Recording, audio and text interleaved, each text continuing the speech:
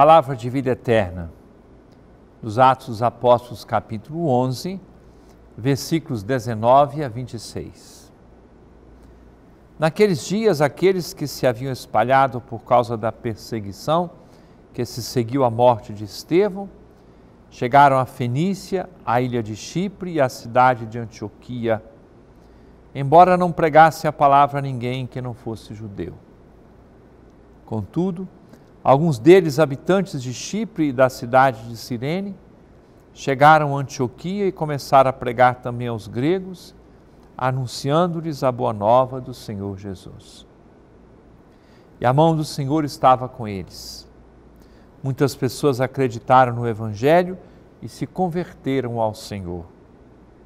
A notícia chegou aos ouvidos da igreja que estava em Jerusalém. Então enviaram Barnabé até Antioquia.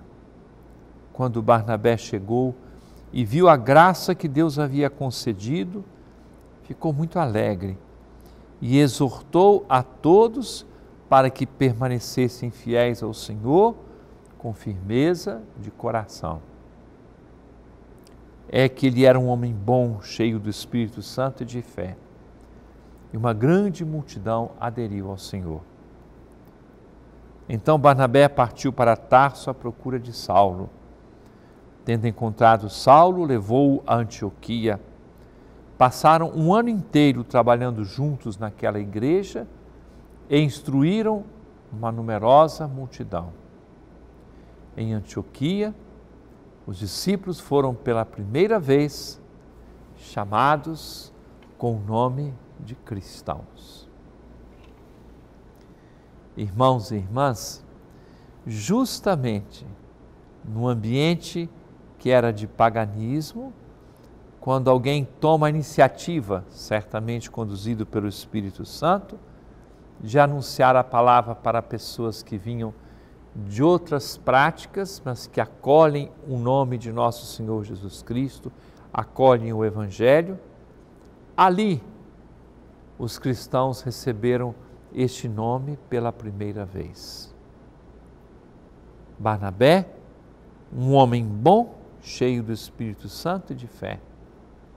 Depois ali ele encontrou Saulo, aquele que tinha se convertido, e os dois passaram um tempo em Antioquia para formar as pessoas na fé. O Espírito Santo transformou o próprio Paulo e ele se torna pregador da palavra.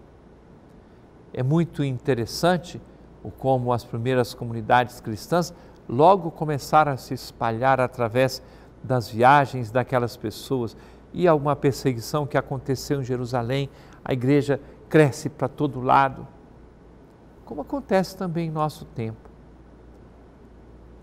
É uma comunidade que nasce, é uma paróquia que cresce, é um movimento apostólico que evangeliza, que espalha a boa nova por todas as partes. É um grupo diferente que surge, são pessoas que se convertem. Essa é a vitalidade da igreja.